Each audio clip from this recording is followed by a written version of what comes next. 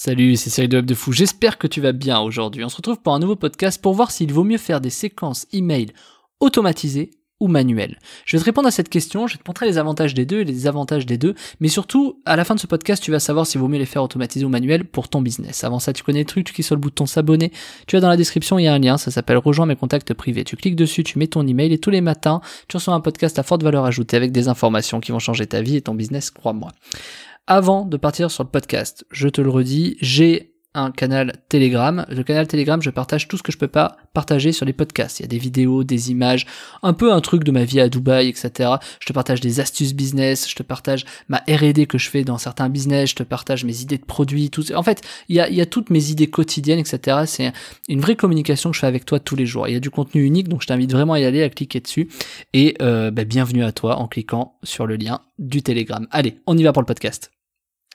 Alors, je vais essayer de faire ce podcast assez court en fait, puisque c'est dimanche et euh, en tant que bah, jour du dimanche, on va, on n'a pas trop de temps à perdre, hein, donc euh, faut vite aller faire autre chose après. Donc, je vais te répondre le plus rapidement possible. Du coup, ça commence mal, ça fait 20 secondes que je parle et j'ai toujours rien dit. Alors, qu'est-ce que c'est la différence entre l'automatique et du manuel? Alors, le manuel, parce que écoute bien, je rédige un email, je l'envoie, on va dire c'est manuel. Mais imagine, je rédige cet email, je l'envoie, mais je l'envoie à chaque fois que quelqu'un arrive, automatiquement. On parle d'un email qui est manuel automatisé, on parle d'une séquence qui est automatisée à travers des emails manuels. Donc c'est quoi la différence et qu'est-ce qu'il vaut mieux faire? Je vais t'expliquer. Si tu fais des trucs un peu automatiques, tu vois, moi je vais prendre l'exemple de Web de Foot. T'as vu, tu reçois des mails des fois, enfin très souvent, avec, tu sais, mes petits cases vertes, là il y en a trois, etc. C'est des emails automatisés. Bon, c'est quand même moi qui les rédige, hein, mais c'est des emails automatisés. C'est-à-dire que du coup, ben, on prend, c'est normé, t'as vu, c'est des trucs qui sont très normés, etc. Et puis il y a une semaine, euh, qui était pas si, il pas si longtemps que ça, où j'ai envoyé des emails plutôt à la main, tu vois. Ce que je veux te montrer là-dessus, c'est que je sais c'est-à-dire à la main, c'est que c'est des emails qui sont propres au podcast, qui ont été rédigés pour le podcast et qui sont pas tous normés de la même façon. Donc du coup, la question c'est est-ce qu'un email que tu rédiges clique mieux qu'un email qui est automatisé et que les gens ont l'habitude de recevoir? Bien sûr que oui. Parce que, euh, en fait, quelque chose qui est très manuel, c'est quelque chose que ben, les gens vont lire, vont, tu vois, ça sort un peu de l'ordinaire. Sauf que si tu fais que des emails manuels, à la fin, tu auras le même résultat que de faire que des emails automatisés. Donc, qu'est-ce qu'il faut changer? Qu'est-ce que c'est la différence? En fait, on a tendance à croire que automatisé égale fait par un robot ou de manière systématisée. Manuel, on a tendance à dire que c'est quelque chose fait à la main. Mais je vais te montrer que tu peux très bien faire des emails manuels automatiques. Je t'explique les gens, s'ils reçoivent toujours la même forme d'email, comme moi je fais sur Web de Fou, bah, au bout d'un moment ils se lassent un peu, ils cliquent moins, etc. Si d'un coup je change la forme, ils vont tous plus cliquer. C'est le cas de mes emails de vente qui cliquent beaucoup plus que mes euh, podcasts, etc. C'est évident et c'est normal, d'accord?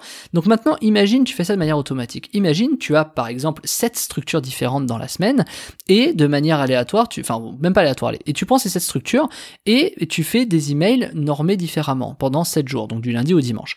Et le lundi d'après, bah, tu recommences avec, euh, euh bah, euh, en gros, forme 1, forme 2, forme 3, forme 4, forme 5, forme 6, forme 7, et après tu recommences le lundi, forme 1, forme 2, forme 3, voilà, etc. Ou alors t'inverses, tu fais forme 1, 2, 3, 4, 5, 6, 7, forme 3, 4, 8, 3, 4, 7, 5, 2, 1, tu vois, tu peux alterner les formes, de sorte à ce que finalement les gens euh, bah, ne se lassent pas de tes emails, ne se lassent pas des emails en termes de structure. Donc c'est important par exemple de te poser et de dessiner des sortes de templates, hein, des structures d'emails, et de te dire, bon ben voilà, et ensuite tu combles les, les trous, c'est-à-dire les trous, tu combles le template, enfin tu mets ce que tu as à dire quoi. Mais il y aura toujours sept formats d'emails différents. Et ces formats, tu les alternes au fur et à mesure. Ce qui fait que sur 30 jours, donc 4 semaines par mois, bah, finalement tu as 7 formats par semaine, et ces 7 formats, tu peux, bah, semaine 1, faire 1, 2, 3, 4, 5, 6, 7, comme je t'ai dit, ensuite, la semaine d'après, tu peux faire 7, 4, 1, 6, 4, 2, enfin, tu vois l'idée, et la semaine d'après, tu commences à 4, 6, 1, 5, tu vois l'idée, quoi. Et le fait de faire ça, l'avantage indéniable, c'est que les gens ne se lassent pas de ta forme d'email parce qu'ils savent jamais ce que tu vas recevoir. Alors que quand c'est quelque chose euh, qu'ils ont l'habitude de recevoir, comme moi mes emails avec les trois bénéfices, tu sais que je mets dans mes emails tous les jours, eh ben euh, les gens presque ne le lisent plus, ils lisent juste le titre, ils disent ça m'intéresse ou pas, ou alors ils survolent, des fois ils peuvent mal lire, etc. Donc c'est l'avantage d'impliquer l'utilisateur. Elle est où la différence? Pourquoi les gens cliquent plus? C'est parce que c'est l'avantage d'impliquer l'utilisateur à lire pour ensuite cliquer quand les gens sont impliqués à lire, en général, s'ils lisent et que ça intéresse, bon, bah, ils vont cliquer forcément. Donc, tu as forcément de meilleurs résultats. Mais, est-ce que c'est pertinent de se faire autant chier? Est-ce que c'est pertinent de vraiment aller vers là? La réponse, elle est oui et non. Elle va dépendre d'une simple question que tu as à te poser. C'est, est-ce que le temps que je mets à créer ces templates et à faire les mails manuellement vaut les résultats VS le fait que ce soit normé en automatique? Moi, je vais te donner un exemple. la stat est toujours la même, peu importe ce que tu fais dans le web. Hein. En général, le fait de le faire de manière manuelle, ça te fait augmenter de 30% tes clics. C'est-à-dire que si tu fais, je sais pas, 10 clics, tu vas faire 13 clics. Bon. Maintenant, imaginons tu fais 100 clics, tu vas gagner 30 clics de plus. Maintenant, imaginons tu fais 1000 clics, tu vas gagner 300 clics de plus, 30% de plus.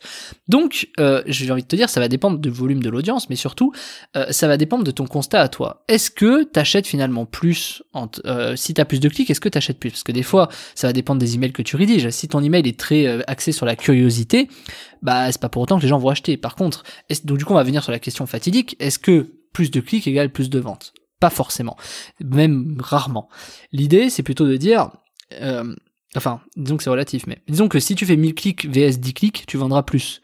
Mais si tu fais peut-être, si tu rédiges bien un mail, peut-être qu'avec 700 clics, tu feras deux fois plus de ventes qu'avec 1000 clics, tu vois. Donc encore une fois, en fait tout est hyper relatif, ça va dépendre de quoi on parle.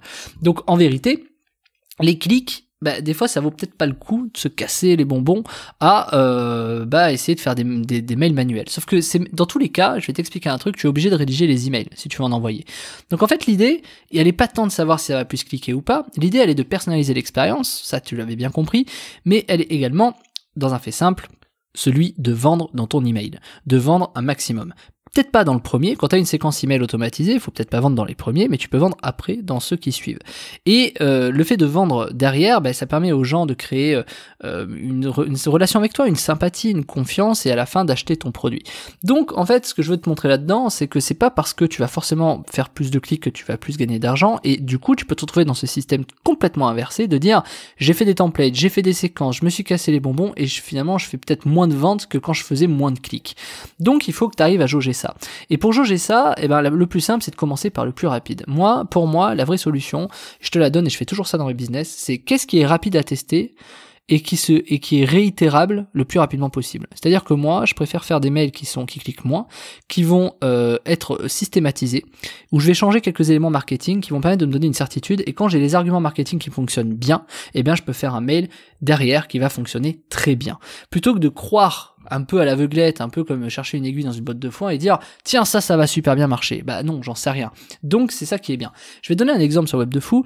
Le fait de faire des mails un peu systématisés avec les trois bénéfices, etc. Je, tu le vois pas forcément, mais il y a des types d'arguments que moi je teste en fonction des jours et des programmes, etc. Quand je recoupe les infos sur mes Google Drive, je vois que forcément il y a des arguments qui ont plus fait mouche. Forcément sur le nombre de podcasts que je fais, j'en ai plus de 250 là, et eh bah forcément tu te dis ouais euh, bah y a toujours des arguments qui marchent mieux que d'autres. Est-ce que pour autant ça veut dire que ces arguments je dois les appuyer tous les jours? Non, parce que si les gens sont habitués à cet argument, bah, ils vont moins cliquer en fait, tu vois. Donc c'est à toi de jauger finalement le bon, euh, c'est à toi de jauger le bon équilibre, tu vois. Donc c'est pour ça que ça sert à rien d'aller appuyer comme un comme un fou sur un argument qui fonctionne très bien. Ça tu le fais que quand tu fais de la pub, tu le fais pas auprès de tes clients, tes prospects. Tu le fais pour amener des prospects, mais après tu dois être un peu plus soft, voilà, parce que les gens doivent te faire confiance. Donc ce que je voulais te dire aujourd'hui, de toute façon, les séquences automatisées doivent avoir une part de manuel au départ, c'est-à-dire un fonctionnement, tu es obligé de rédiger cet email manuellement et de créer plutôt un marketing, une relation de confiance que tu dois faire